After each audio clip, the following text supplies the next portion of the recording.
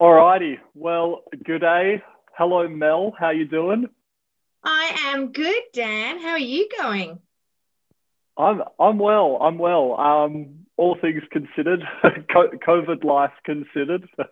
Yeah, I'm i know. I'm trying to work out whose COVID life is is is worse. I, I know for for you, your plans were sort of scuppered and that the teams have sort of put you into a lockdown. But I've got a feeling lockdown in Monaco has got to be much better than lockdown in Sydney at the moment. I, I mean, well, actually, I'll say yes. And the, the main reason why I'll say yes is because it's summer here, so it's like 20, yeah, it's it's 27 degrees. So I'm not going to complain. Um, but I feel like probably for the majority of lockdown, I, I feel like you guys have had it a bit better than Europe.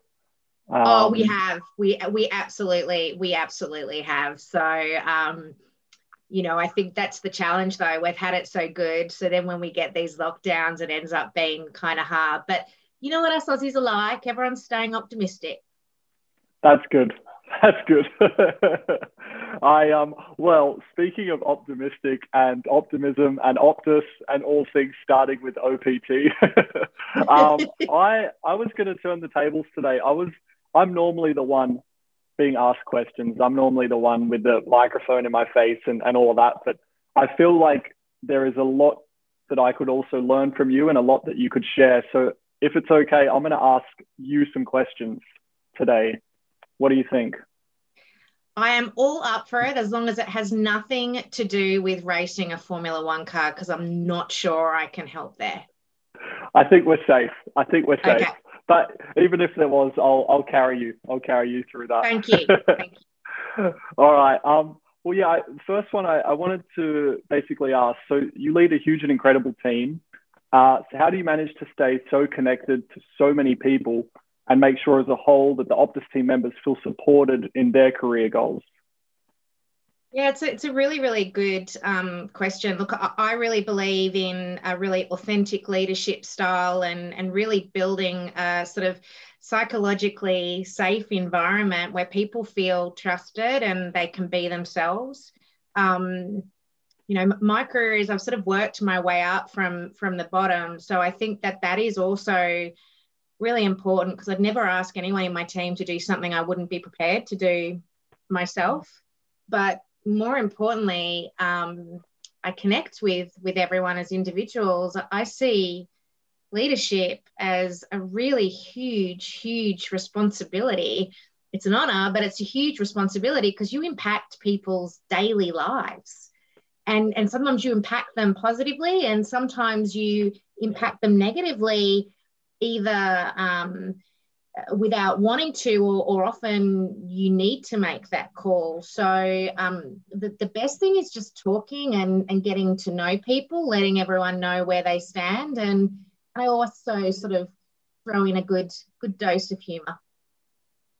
That's good. Yeah, I, I feel like the last thing someone wants to be is, I think like um, a leader has to have a certain amount of authority, so to speak. But the last thing also like that you don't want your peers to feel like nervous to walk into the workplace or intimidated or so I think breaking it up with some some humor and and as you say like really getting to know them I think helps and certainly breaks the ice for those who might be a little more uh, uh, I don't know not everyone's as outgoing or you know some some are shy so I think that's that's nice to have that connection with them. Yeah, I guess I'm interested from your take too, because you know, to you, you're just Daniel, but you know, you for a, a, lot of people that you work with and the first time probably are intimidating. My my hubby, um, as you know, has spent a, a, large portion of his career working in F1, and, and he tells his story when he was at McLaren, and I think it was about 1990, 91, where he was leaning over into the um, car and doing up Ayrton Senna's um, seatbelt, but he said his hands were trembling. You know, this is a guy he'd looked up to. And he said, just through the visor, and gave him a wink. But um, I mean, do you find that with a lot of the guys that and girls actually that you work with that they find you quite intimidating the first time they meet you? It's it's something you kind of you try to ignore or never want to admit. And of course it's not the case with everyone, but I'd be lying if I said I hadn't I hadn't noticed it um, on occasions. And I think one actually was when when I went from Red Bull to Renault, it was like the most like high profile move of that season. And I think I think quite a few people at Renault probably read too many articles and headlines, and it was like it was a it was a bigger deal for them, you know, with with me coming. So I felt like yeah, first day at work, people were just shy to even like say hi to me, and if I went to go and you know introduce myself, they were taken back, like oh like why is he talking to me? Like I'm not that important, or like you could just tell they were they were really some of them were really in their shell, and um, I felt bad because I was like like I'm I'm not trying to overpower you. I'm just trying to to be nice and and start start something. But uh, yeah, I you do feel it sometimes. But uh, again, I think the best way to break that is again, as you say, to be authentic, to be yourself, and and just to let them know that you're you're just like them. You are a human and um, we all have feelings and we all also just have a, a passion and a love for the same thing so that's that's pretty cool yeah so mel can you tell us a bit about your story uh, how did you achieve one of my favorite words coming up such a prolific position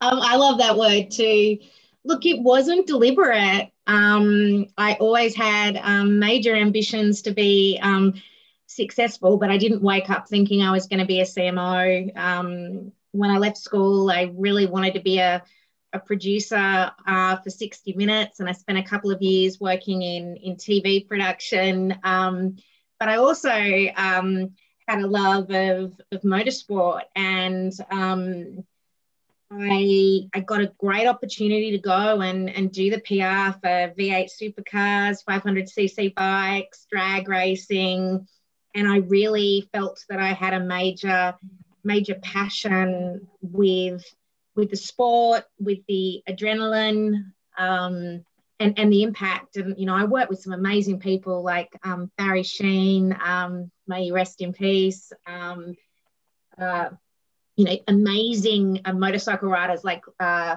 Loris Capirossi and um, the V8 uh, drivers, and, and then some of the Formula One team down in Adelaide. And then from there, I ended up moving um, into looking after automotive advertising.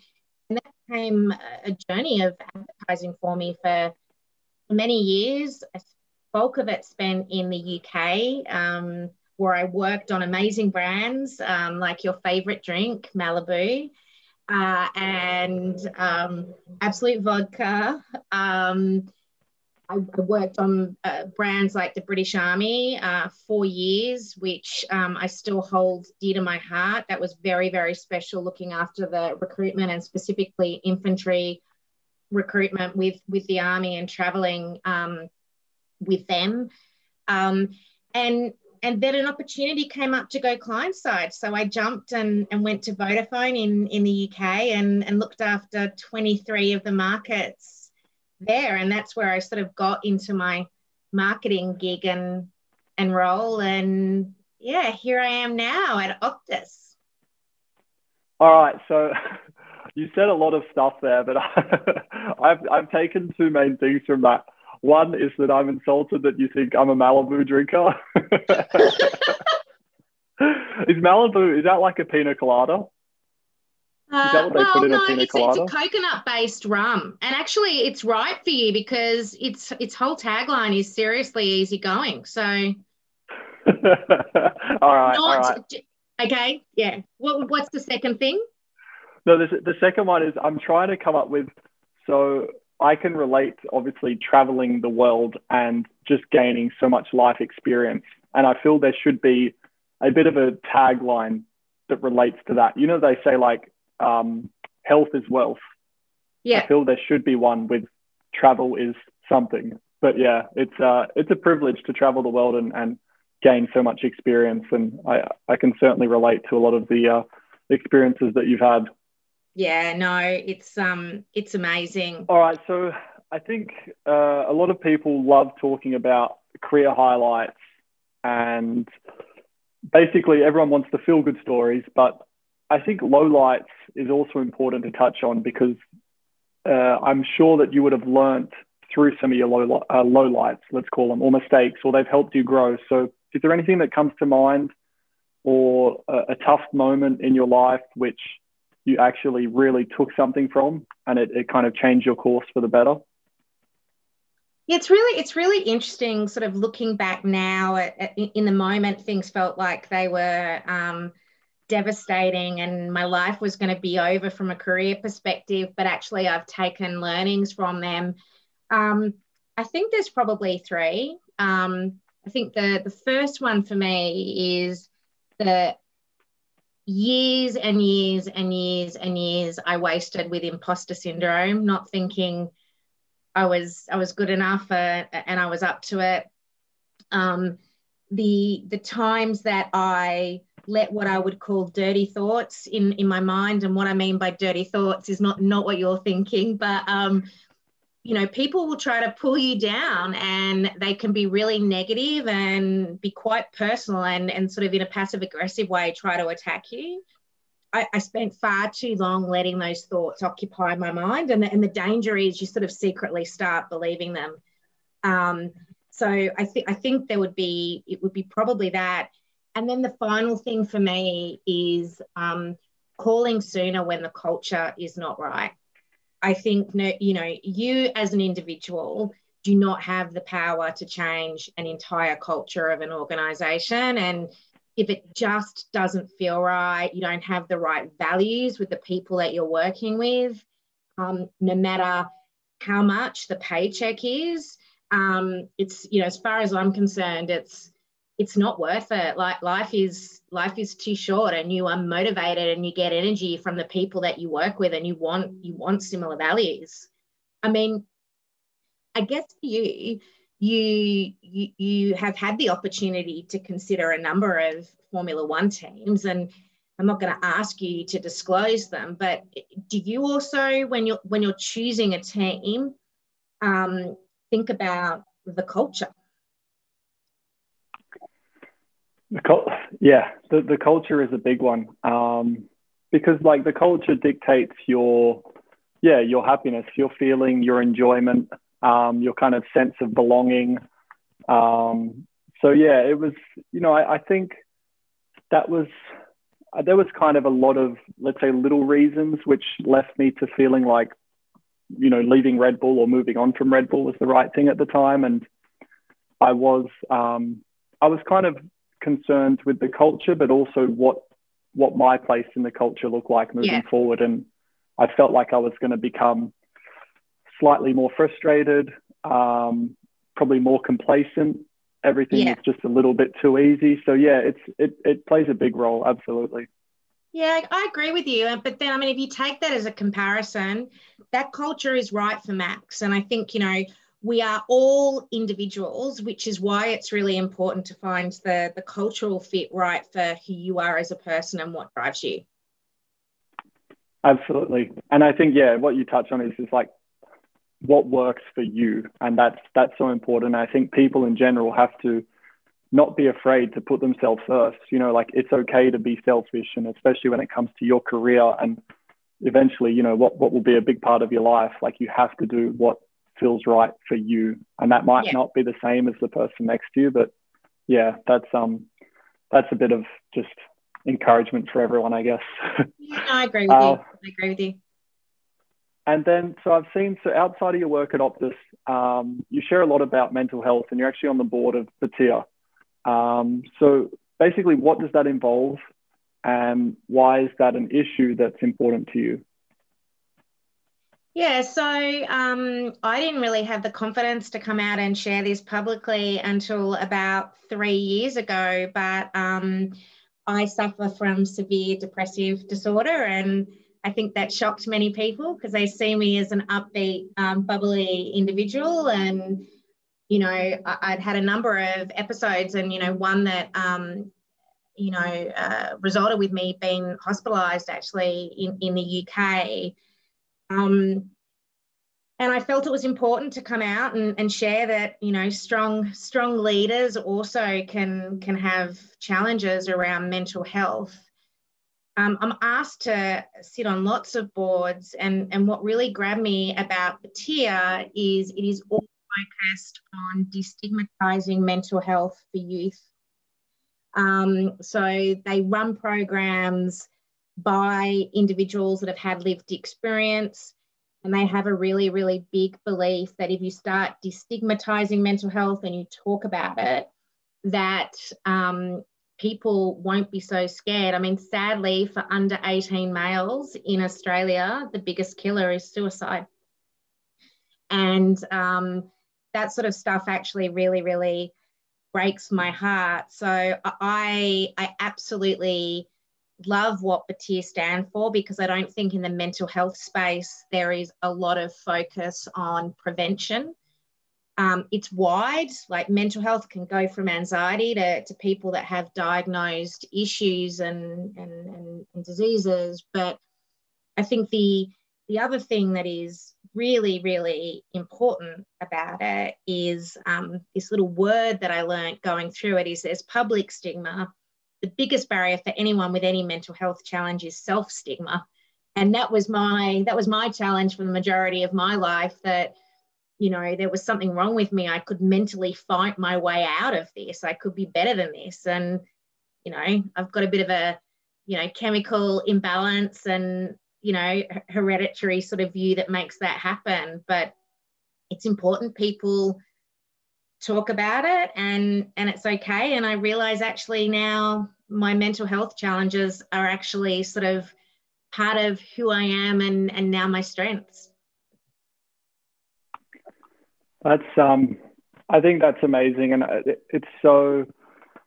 Uh, I think just in general, like talking, like you need you need, and I guess that's what like friends are for. If if, if your family's not there, like that's why you have close friends. At the end of the day, it's to talk to them, to to basically unload and to to listen as well, and that's what close friends do. And I think it's you know that is like such a big first step to anything and even from a like a sorry sorry to uh, like turn it to me, but like for my racing, like if I'm having a yeah. bad day or things aren't aren't working well, then I need to talk to someone about it and I need to unload, and then it's like okay, now I can move forward. And absolutely, if if people are suffering with mental health and they're just bottling it up, bottling it up, and got no one to to release anything to, then for sure that's you know that's step one of many kind of steps afterwards that, that become more difficult. So um, yeah, that's really cool. I, and I, I, like from a,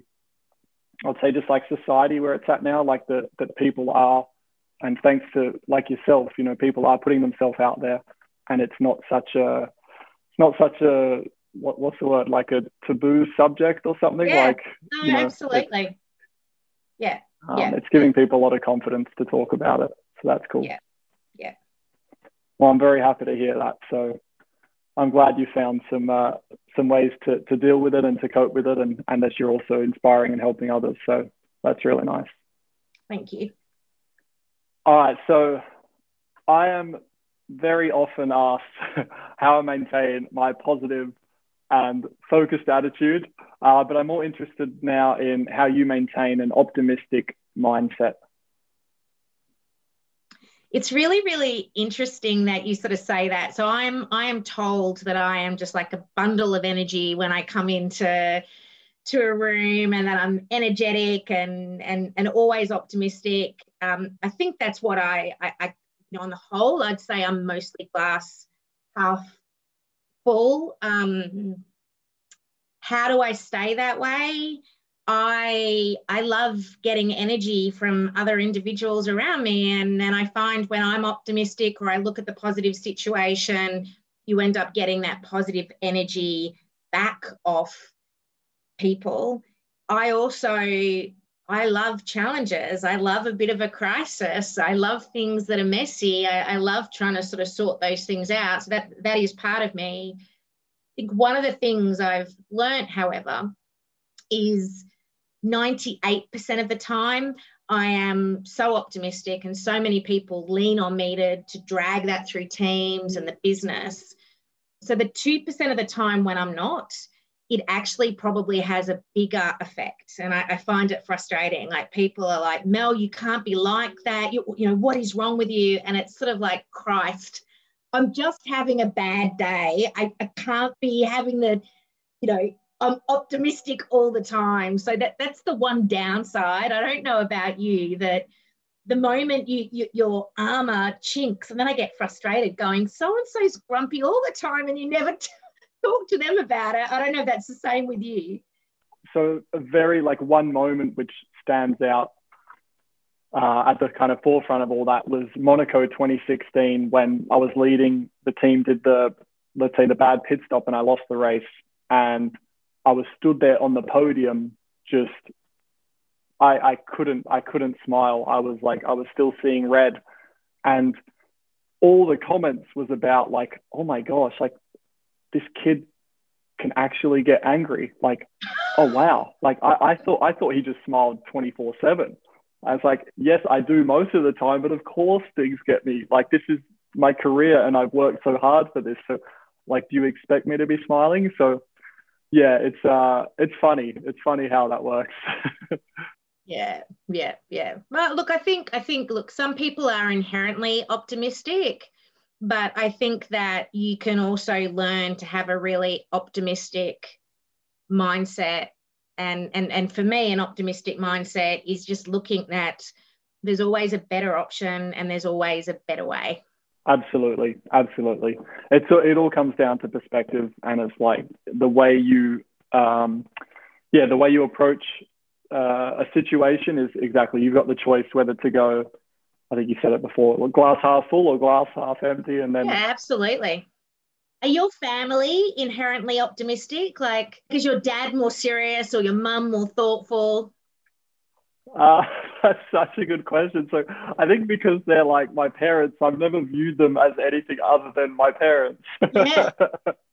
that's crazy. Um, I would honestly have to think about that, but for sure, like, I mean, I am a product of them and growing up in a in a nice, warm, kind of loving household. Yeah. So for sure, it was a it was a nice environment with with lots of laughs and smiles and, and affection. So yeah, it, it would be. But could I tell you like out of mum or dad who is more so, I'd have to probably think about that one. Yeah. Okay. Well, next time we catch up, I expect an answer to that. All right. All right. That's my homework. Okay. All right. Well, well finally, Mel, um, just some advice. The last one is, is really some advice for those starting out in their careers. Um, what to, what would today's Mel say to a younger Mel. Don't compare yourself with those around you. Everyone is going to go on their own journey, and you'll have times when people you feel are at the same level as you accelerate. Um, and then others that that go backwards. Write your own story and go your own path. I I never imagined I'd get to the heights that I am now, and I'll be honest, I'm not giving up. Like I, I want to go further but there are times when I felt a bit despondent because others were ahead of me and I didn't necessarily think it is fair. But you know, life is a journey. So just focus, focus on your own story. And look, my final thing is be a student of life, be curious, discover, learn things. I'm, I'm a big believer that life lessons like, you know, heartbreak from your first you know true love is is really important in building who you are. Losing jobs not getting what you want makes you actually better and and stronger. So look at it as an amazing amazing learning experience.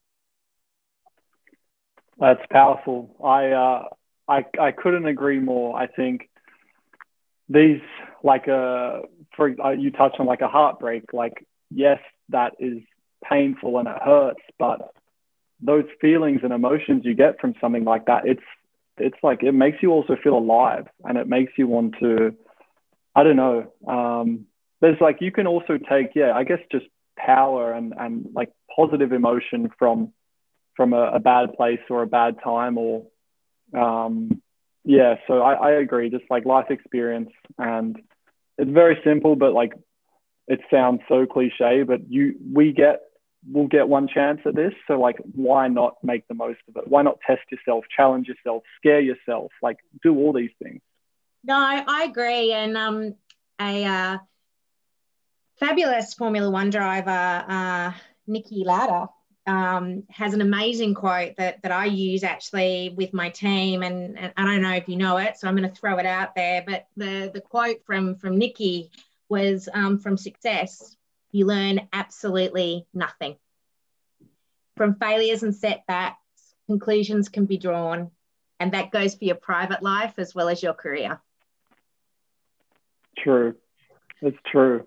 And it's, it's I, I don't I don't want to I want to leave it there because that's like that's the I think that's such a nice way to end it. But I, I can't help but but say like from personal experience, success, you're right, you learn nothing because you win a race, for example, and it's like high fives, it's it's hugs, yeah. it's champagne, it's and then it's like let's go out and party and you do like no analysis of the race you do like it's just let's celebrate and you actually like if you go to the core of it you don't really learn much because it's like everything's just a big high and uh, yeah. that's like a little snapshot but it's it's an example of where that that can certainly be the truth well mel thank you so much uh, it has been great talking to you and I've enjoyed listening. I, I still obviously chimed in here and there, but I, I did enjoy asking the questions and, and taking a back seat. So thank you so much. And that was really, uh, it was quite a, quite a privilege to hear a lot of that uh, insight from yourself. So appreciate it. Thank you. Thank you so much, Dan. And just so great to, to talk and, and riff off you as well.